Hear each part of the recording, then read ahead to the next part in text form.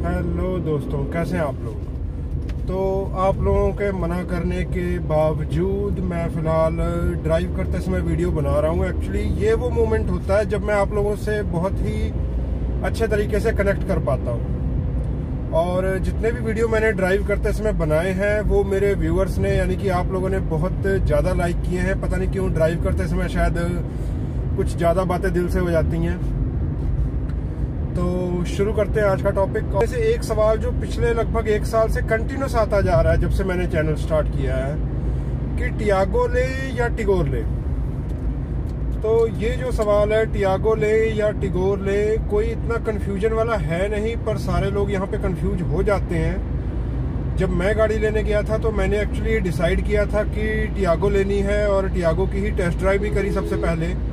और सिर्फ़ मेरा जो सेल्स रिप्रेजेंटेटिव था, जो मुझे टेस्ट ड्राइव करवा रहा था, उसके कहने पे मैंने सिर्फ़ टिगोर की टेस्ट ड्राइव कर ली थी अदरवाइज़ मैं टिगोर लेने नहीं गया था।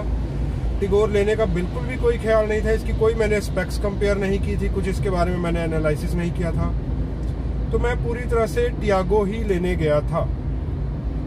तो टियागो की टेस्ट ड्राइव करने के बाद जब मेरे सेल्स वाले पर्सन ने मुझे कहा कि अब एक बार सर आप टिगोर भी चला के देख लो तो मैंने कहा कि यार जब लेनी नहीं है तो बोला कि एक बार चला के देख लीजिए, शायद मन बदल जाए।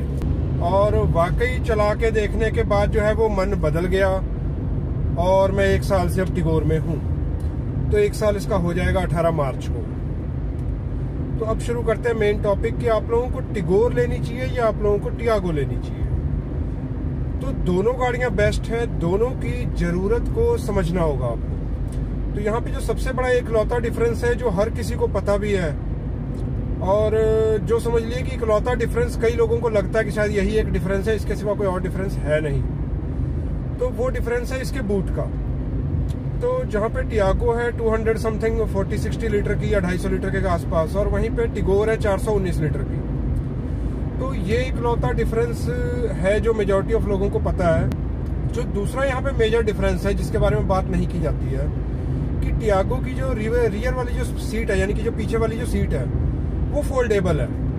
यानी कि आप उसका जो बूट है, वो टिगोर से भी बड़ा कर सकते हो। अगर आपको रिक्वायरमेंट है और आप लोग सिर्फ़ दो लोग हो आगे बैठे हुए तो आप लोग पीछे वाली पूरी सीट को फोल्ड करके आप लोग उसको बूट का हिस्सा बना सकते हो और ज़्यादा से ज़्यादा सामान वहाँ पे रख सकते हो। जो कि टिगोर के केस में पॉसिबल नहीं है।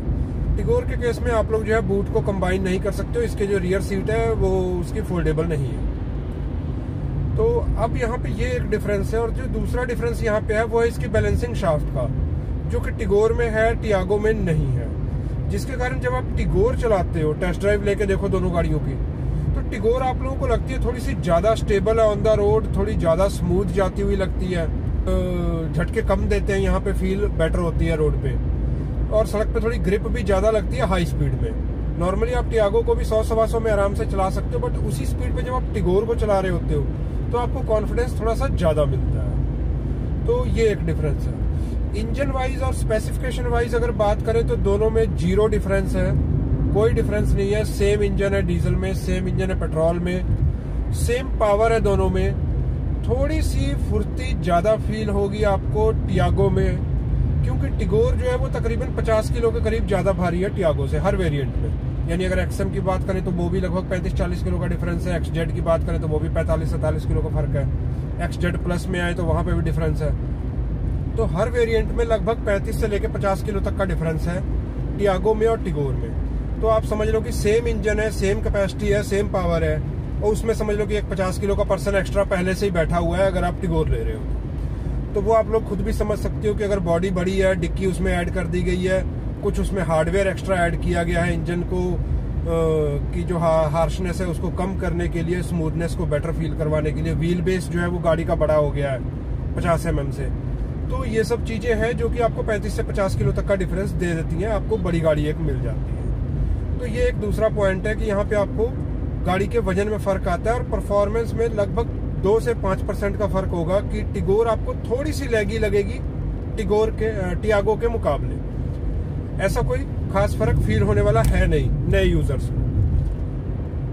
इसके बाद जो आपका डिफरेंस जो मैं ऑलरेडी अभी सेकंड पॉइंट में ही कैलकुलेट कर चुका हूँ, वो है इसका व्हील बेस तो व्हील बेस ज़्यादा होने के कारण क्या होता है कि गाड़ी जो है सड़कों पे कम उछलती है, यानी गड्ढों में कम आपको जो है झटके फील होते हैं। व्हील बेस जितना ज़्यादा होता है। तो आप समझ लो कि अगर लिमोजिन है, लंबी वाली कार तो जब तक उसका आगे वाला टायर अगर गड्ढे में गिरा है तो जो सेंटर में बैठे हुए लोग हैं, जो पीछे में बैठे हुए लोग हैं, उनको पता भी नहीं चलता कि आगे वाला टायर जो है वो गड्ढे में गया है, क्योंकि गाड़ी इतनी लंबी है।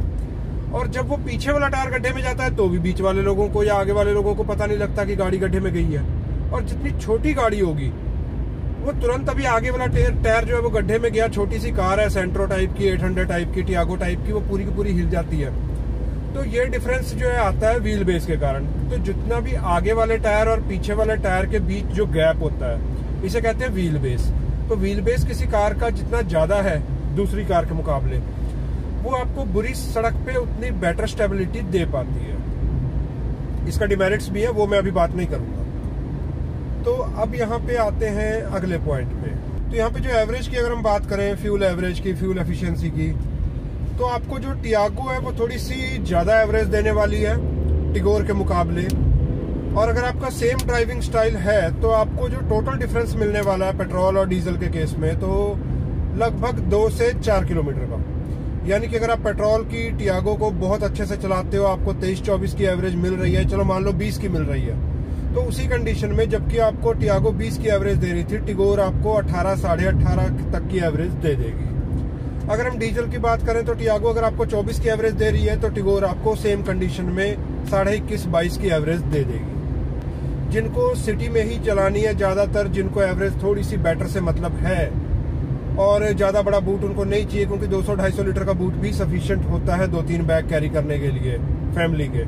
अगर आप लोग like two adult two kids वाली अगर फैमिली है तो।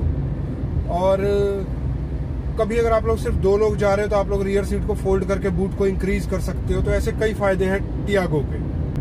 तो रियर सीट पे जो आपका फोल्डेबल आर्म रेस्ट है कप होल्डर है, ये आपको टियागो में नहीं मिलेगा, ये आपको मिलेगा टिगोर में। एक और चीज़ नहीं मिल रही है, वो है आपके रियर विंडशील्ड पे वाइपर्स तो चूँकि टिगोर आ जाती है कॉम्पैक्ट सडान की कैटेगरी में और सडान में कॉम्पैक्ट सडान में रियर वाइपर्स नहीं होते हैं हैचबैक में रियर वाइपर्स होते हैं टॉप एंड वेरिएंट्स में।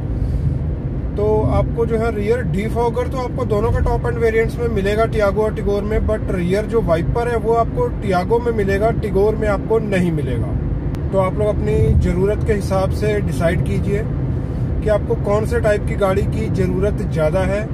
बेवजह ज़्यादा पैसे लगाने की कोई ज़रूरत है नहीं। अगर आपकी मोस्टली सिटी ड्राइव होने वाली है तो टियागो ज़्यादा फन टू ड्राइव होगी।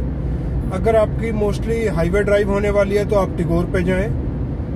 अगर आपको बड़े बूट की अगर ज़रूरत नहीं है बड़े बूट की तो भी आप टियागो पे जा सकते हैं। तो डिपेंड करता है। आप ये सारे पॉइंट्स कंसीडर करें तो आपको हेल्प होगी ये डिसीज़न लेने में कि आप टियागो लो या टिगोर लो। आप लोगों के लिए प्रेफरेंस क्या है? मैं हमेशा कहता हूँ कि जब भी आप लोग डाउटफुल हो कि ये गाड़ी लें या वो गाड़ी लें, ये फ़ोन लें या वो फ़ोन लें तो सबसे पहले आप लोग जो है अपनी प्रायोरिटी सेट करो। कि कौन कौन सी चीज़ें आपके लिए टॉप प्रायोरिटी रखती हैं और कौन सी गाड़ी है जिसमें सबसे ज़्यादा आपकी प्रायोरिटी जो है वो मैच हो रही है। तो जिस गाड़ी में आपकी प्रायोरिटी सबसे ज़्यादा मैच हो रही है, वो गाड़ी आप लोग ले लो। तो आई होप कि ये जो है मैंने बिना स्पेसिफिकेशन वाला जो मैंने कंपेयर किया, और अगर मैं कोई बात छोटी मोटी बतानी भूल गया हूँ तो प्लीज़ मुझे माफ़ कीजिएगा। ये जस्ट मैंने एक एवरेज जैसे हम टॉक करते हैं किसी फ्रेंड से कि मेरा एक फ्रेंड है, वो डाउटफुल है कि टियागो ले कि टिगोर ले। तो मैंने उस लहजे में बात को क्लियर करने की कोशिश की और हो सकता है काफ़ी लोगों के डाउट्स क्लियर हो गए होंगे, जिनके नहीं हुए होंगे मैसेज कीजिएगा, फिर से कोई नया वीडियो डाल देंगे। तो और सॉरी आप लोगों के मना करने के बावजूद मैं ड्राइव करते समय फिर से वीडियो बना रहा हूँ। एक्चुअली ये मोमेंट है, मैं फिर से बता रहा हूँ, जब मैं आप लोगों से बेटर कनेक्ट कर पाता हूँ। तो मिलते हैं फिर अगले वीडियो में, तब तक के लिए धन्यवाद। तो एक और जो डिफरेंस है यहाँ पे टियागो और टिगोर में, वो ये है कि क्या है?